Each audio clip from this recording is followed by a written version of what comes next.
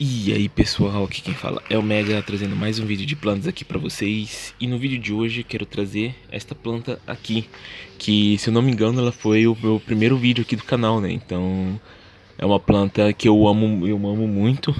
Não é a minha favorita né, como que é a minha favorita são os coléus.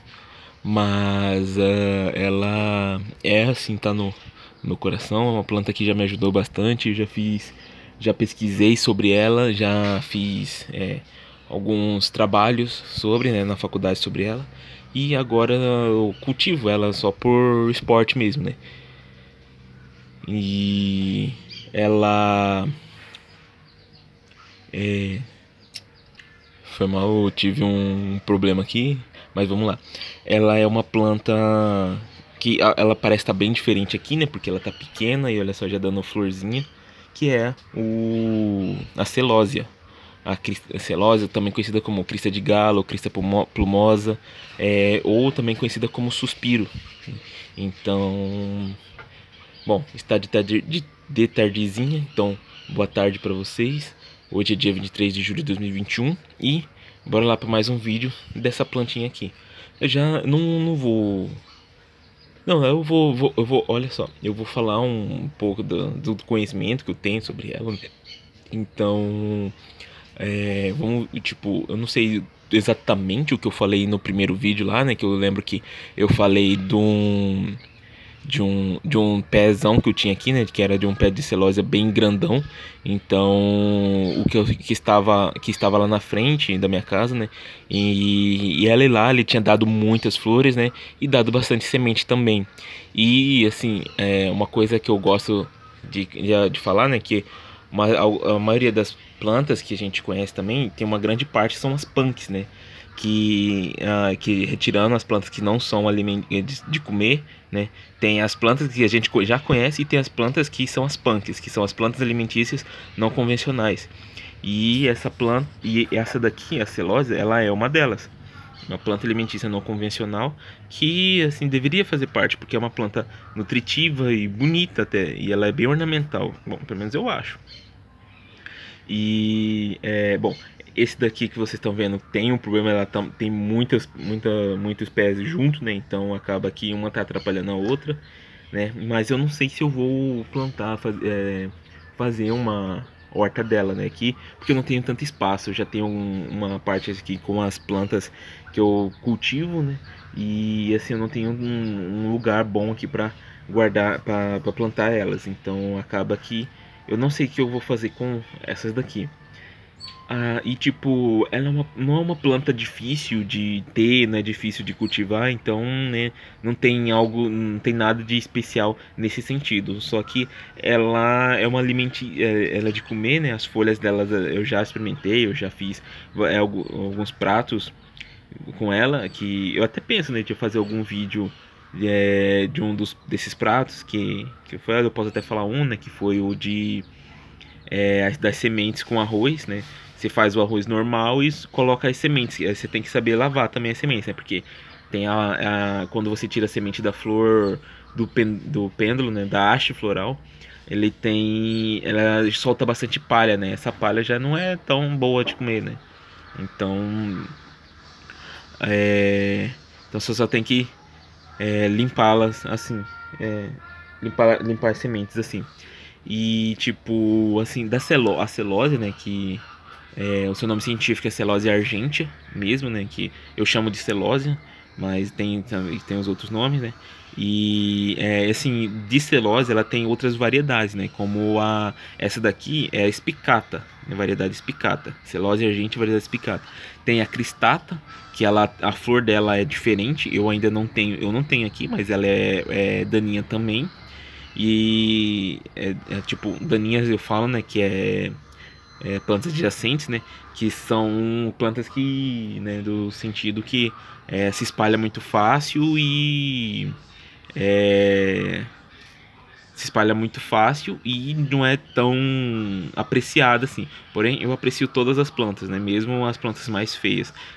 Todas, todas as plantas têm a sua peculiaridade, sua curiosidade e sua utilidade também, só não foi descoberto ainda. Então, acaba que é, é, tipo das, das celuloses apenas uma é utilizada como ornamental, que é a variedade cristata é cristata, que ela é uma variedade é, a variedade cristata mini, né?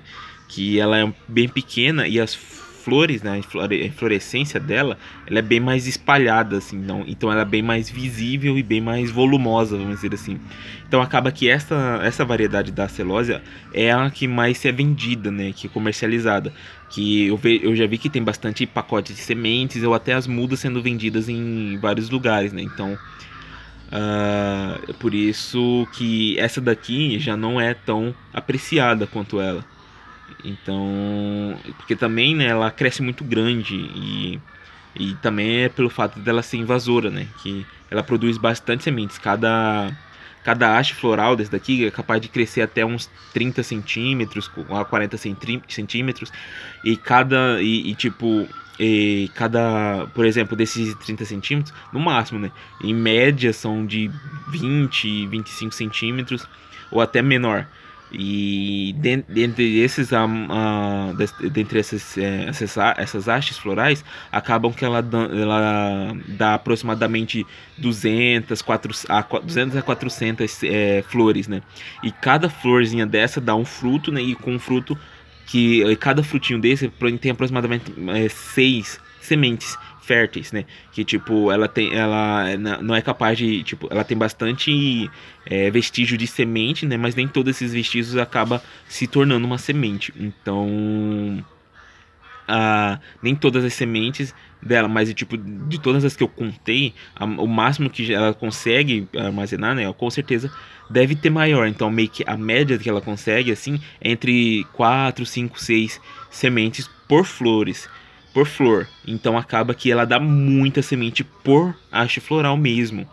Então, tipo, se você fazer os cálculos básicos, um, né, um, uma haste floral com 200, aproximadamente em média 200 flores, vezes, vezes 6, dá o que? Muitas sementes, né?